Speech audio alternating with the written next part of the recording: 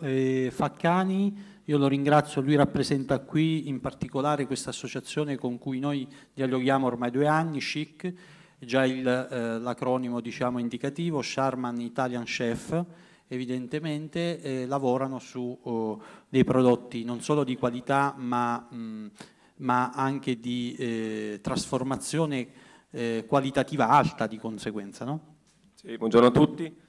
Praticamente io faccio parte di Chic, che diceva appunto Charming International Chef, ci hanno riuniti e siamo una sessantina di ristoranti dove pensiamo di lavorare bene, il prodotto italiano e non solo, e di rendere quindi, partendo dalla materia prima ottima, anche quindi l'estetica è molto importante.